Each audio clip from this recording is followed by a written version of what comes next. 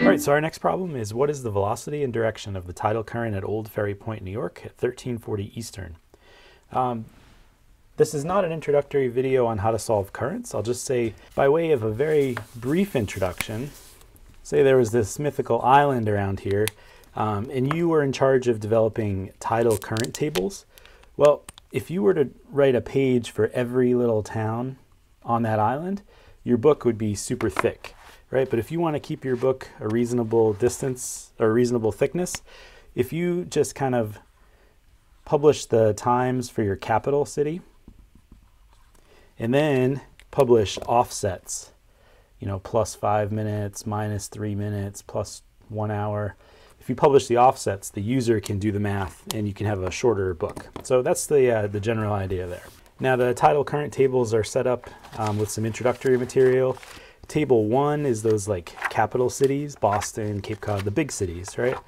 And then uh, table two in the back is where it's gonna list all these offsets for our little towns, right?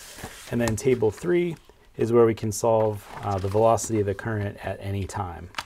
Uh, this is how I recommend we kind of go after this. If we go with a grid pattern, and up here we look for our, uh, our desired offsets. All right, that's going to be table two, uh, table two, yeah, sorry. Um, this is going to be our reference station, which is table one. And then this is going to be math, where we apply some offsets. And this will be down here, answer the question. Usually it involves table three. So this is kind of how we lay out our problems. We're going to look uh, at the offsets necessary for our tidal station. Uh, we'll find our reference, we'll do some math, and then we'll answer the question there. So in this case, we're looking for Old Ferry Point. Uh, it's in New York. I have no idea where that really is. So I'll use the uh, tidal current tables. And in the back of it, I'll just look up Old Ferry Point. So it looks like it's reference station 3071. Uh, and that's what we'll get started with. So we said that was reference station 3071. So in table two, we look for 3071. Here's Old Ferry Point, and it's got time differences for the minimum before flood, otherwise known as slack, the flood, the minimum before ebb, otherwise known as slack, and then the ebb, and then speed ratios, and then degree uh, directions for the flood and the ebb. So I'll go ahead and recreate that information here. So we've got a slack, flood, slack, and ebb in here. And it looks to me like our offsets for Old Ferry Point are minus 123, uh, minus 37, minus 02, and minus 38 right? And then it gives speed ratios. So for the flood, we're going to multiply everything by 0.5. And for the ebb, we'll multiply it by 0.3. And then over here, sorry, I didn't have that on the camera. Here's the speed ratios, the 0.5 and 0.3. And then here are the directions. So the flood is a direction of 076, and the ebb is a direction of 240.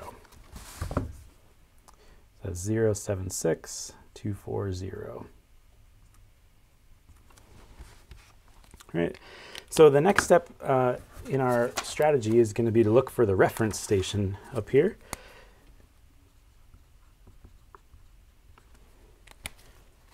And in this case, the reference station for Old Ferry Point, if you scroll up, you'll find it. It's Hell Gate. Sounds ominous. So in the tidal current tables, I come to February 5th for Hell Gate, and I'm going to try and reproduce uh, the times of the slacks and floods here. So we were looking for a time of uh, 1340 on the 5th of February. All right, so around that time, you know, it's not exactly listed, so it looks like there's a slack at 1033.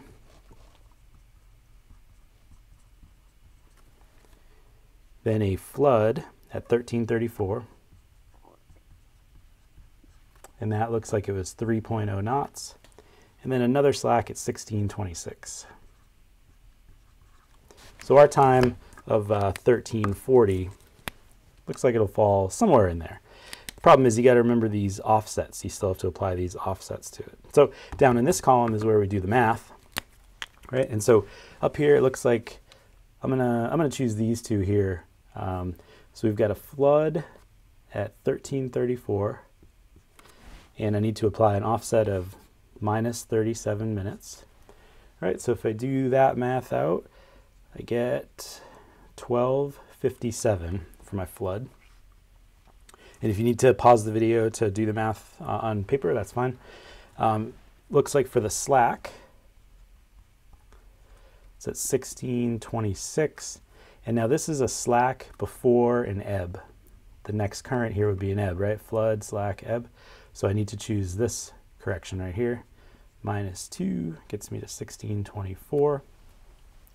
Uh, and then for the intensity, the slack water is uh, 0 knots, and the flood was uh, 3.0 knots times 0 0.5, 1.5 knots. So I've got kind of my um, time of max flood, 1257, my max intensity, 1.5, and my slack time.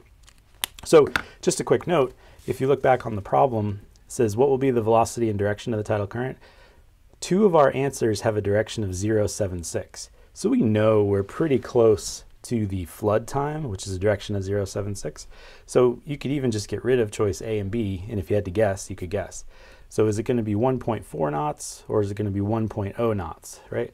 So our max flood is 1.5, and now we'll use table 3 over here to determine the exact value. So looking at table 3 in the back of the uh, tidal current tables, table 3 gets you the velocity of the current at any time. And it's got two tables, table A, table B.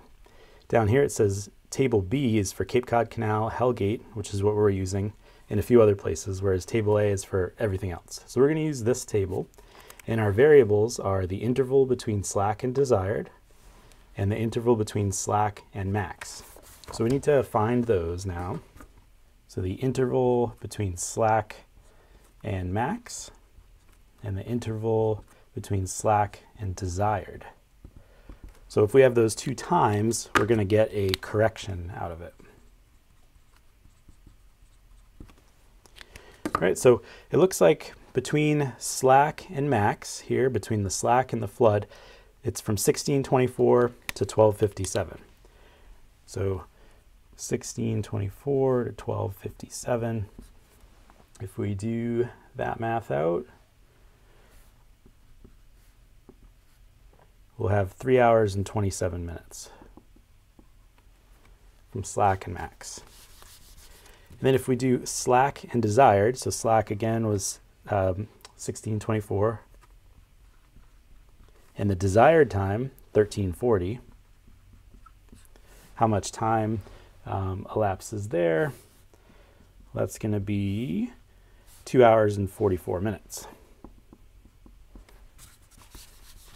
So if you look back into table B on um, table 3, velocity current at any time, interval between slack and max, interval between slack and desired, you can kind of uh, come up with your correction. And so the slack and max was uh, 327. So there's no kind of exact value in there, but uh, we'll choose the closest value, 320. And then the interval between slack and desired was 244. So it looks like our correction is going to fall somewhere between like 0.9 and 1.0. So if we just said it was a correction of uh, 0.95, what we do is we take this correction and we apply it to the maximum current. So 1.5 times 0.95, if you do that out on the calculator, you end up with 1.4 knots as the final answer. So looking back to the question, what's the velocity and direction of the tidal current? 1.4 knots, that matches with our speed, and 0.76 matches with our direction for that. So I know this was a very quick pass through on a tidal current problem, which can be tricky. Refer to other videos for introductions on how to do that. But in essence, up here in block one, we write down our offsets, which we get from table two. for our very specific location. Over here, we write down our reference station, Hellgate, Cape Cod Canal, Boston, something like that. Down here, we apply these offsets to this reference station. So we'll come up with, in essence, the times and the intensities of the current at our location, Old Ferry Point. And then finally, we use this block to solve the problem, table three. Interval between slack and max, interval between slack and desired. Use the table to come up with a correction, and then apply that correction to your time, uh, to your maximum current over here in block three, and you'll end up with your answer. So again, refer to other videos if you need an introduction or the references, but uh, this is how I recommend solving current problems.